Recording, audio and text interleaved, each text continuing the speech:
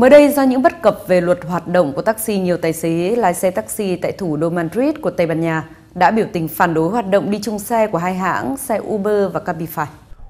Những người biểu tình cho rằng hai hãng xe này đang phá luật hoạt động của taxi và tạo ra một cuộc cạnh tranh không lành mạnh vì Uber và Cabify đưa dịch vụ đi chung xe vào hoạt động. Những tài xế lái xe taxi tỏ ra rất giận dữ và liên tục hô khẩu hiệu trong vòng 2 giờ trên đường tiến tới Bộ Giao thông. Ngoài ra họ còn đánh bông khói và đốt pháo trên đường đi. Chúng tôi sẽ tiếp tục yêu cầu xem xét để mọi việc phải được thực hiện theo đúng luật. Tỷ lệ nên là một người thuê một phương tiện. Hiện nay thậm chí tỷ lệ này vẫn còn chưa được đáp ứng đủ và bạn có thể thấy tình trạng này hàng ngày.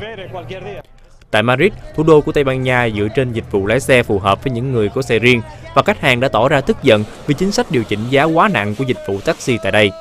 Việc điều chỉnh giá và thái độ thù địch từ những hãng taxi địa phương đã đẩy Uber ra khỏi thị trường dịch vụ xe taxi của Tây Ban Nha vào cuối năm 2014, sau khi phía tòa án Tây Ban Nha đã đưa ra phán quyết rằng công ty không thực hiện nghiêm chỉnh theo đúng luật của Tây Ban Nha và đang có hành động cạnh tranh không công bằng.